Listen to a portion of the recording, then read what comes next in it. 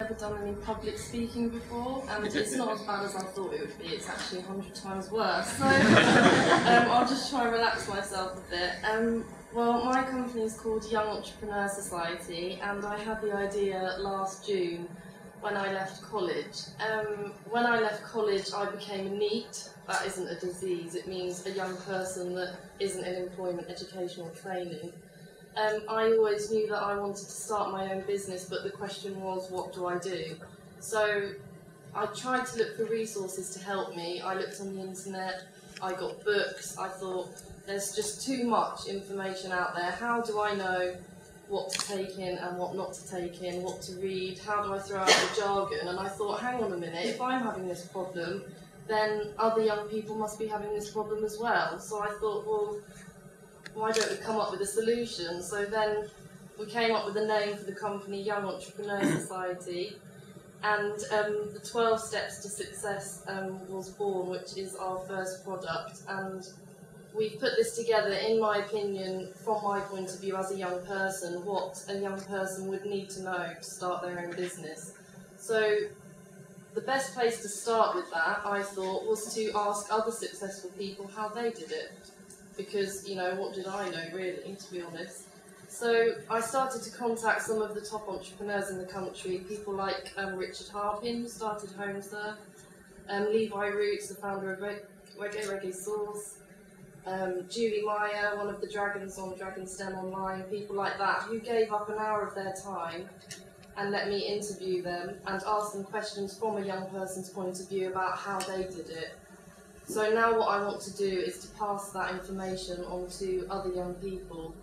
Um, so what we've done with these interviews is we've integrated them into a program called the 12 Steps to Success and it's on different entrepreneurial and personal development subjects such as what an entrepreneur is because some young people might not even know, the qualities that you need to be an entrepreneur, how the mind works, so talking about the conscious mind, the subconscious mind, your purpose in life, so that's a lot of career planning, and finding out why you're put on this earth and finding out your hobbies and your skills and how you can make money from doing that because lots of young people think that you have to be in a dead-end job because they see their parents come home and moan.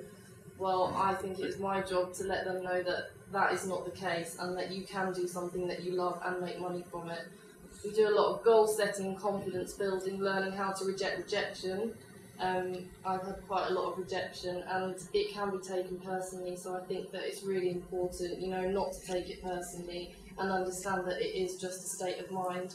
And we also go into developing a business idea, so we've got a guide, jargon free, how to write a business plan, and especially for young people, keep it down to the minimum, the, the, the titles that you need in the business plan, and um, explaining how to write it.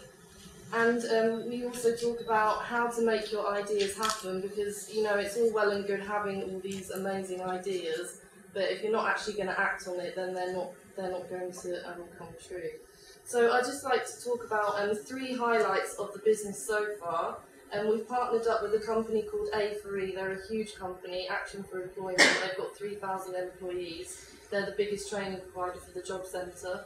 Um, they have included us in a bid up north with Barnsley Council, a NEET bid, so not in employment, education and training. And um, what we will be doing is we'll be going up there um, four times in a year.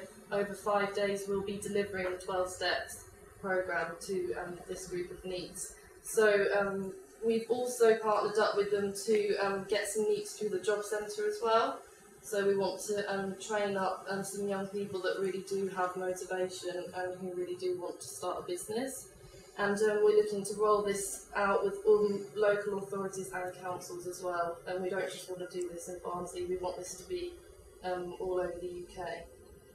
And we've also been accepted into schools in Buckinghamshire, and um, we're an approved provider for enterprise learning through Specialist Schools and Academies Trust, who have 5,600 schools on their database bearing in mind that we only launched the company in February, um, I'm quite astounded myself and surprised about all the positive feedback that we have had so far and the interest and the demand for what we're doing. And um, also the interest that we've had from Business Link. Um, we recently had a meeting with somebody um, from Business Link and um, they are really interested in our product because at the moment Business Link don't actually niche anything down to young people, it's just for everybody. And I went on a Business Link course and I found it really helpful, but there wasn't anybody my age, and I think that there's probably a gap there to do something for young people to, you know, they feel a bit scared that they, they can't go because everyone's older and you know, they feel a bit intimidated. So I think if there's young people running these workshops for Business Link, that we can encourage um, young people, you know, to come out of themselves and um, to think about starting a business and be encouraged to do that. And um, we want to work with Business Link nationally, and we've got a meeting with the Director of Operations for Southeast um, in the next few weeks to discuss this. But all of this wouldn't have been possible without Frederick's Foundation, and I just really like to thank Paul Barry Walsh and his team, especially Tim at the back there, and I have most of my dealings with him the support and everything, not just the money that they gave me to help me, just the encouragement and the fact that they believed in me. Because a lot of the time you get people, you know, a lot of the time it could be jealousy, you know, that people don't want you to succeed in life or something. But these people, they're just so passionate about helping other people. And in a way, our business is kind of cross because my business is helping young people start a business, and Frederick's, you know, they help everybody start a business. So I see in the future, you know, that our, our paths might um, cross there. And um, going to panel was quite scary, but it wasn't like Dragon's Den, and Paul Barry Walsh didn't tell me I was ridiculous and to get out. so um, I'd just like to thank them for all their support they've given me, and um, it wouldn't have been possible to be where I am today without them. So um, I'd just like to finish off um, with um, some really powerful words by Rhonda Byrne. She's a lady who wrote um, a book called The Secret, and if you haven't read The Secret, then I would highly recommend this book because it is one of the most life-changing books that you could ever read. So I'd just like to finish off with this. You have a choice right now. Do you want to believe that it's just the luck of the draw and that bad things can happen to you at any time? Do you want to believe that you can be in the wrong place at the wrong time? That you have no control over your circumstances? Or do you want to believe and know that your life experience is in your hands and that only all good can come into your life because that is the way you think?